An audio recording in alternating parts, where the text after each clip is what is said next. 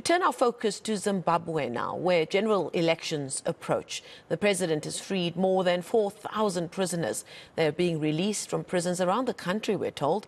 ENCA correspondent Pindai Dube filed this report.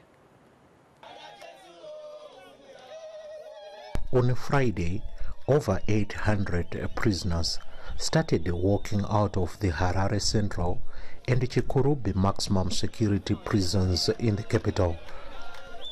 They were excited about being reunited with their families.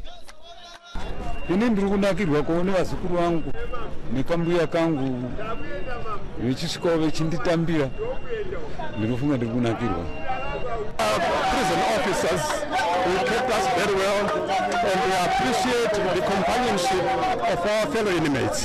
Thank you very much.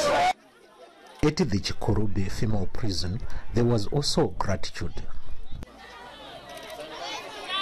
You know some some things it happens so that you learn something isn't it?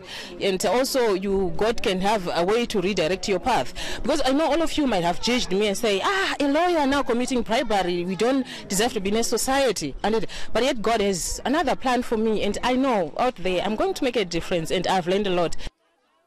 Prison officials urged those released to use life skills acquired in a prison.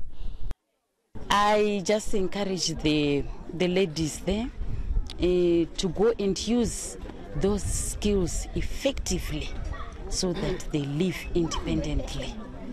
And, and I encourage them not to come back to prison, not to engage in drugs.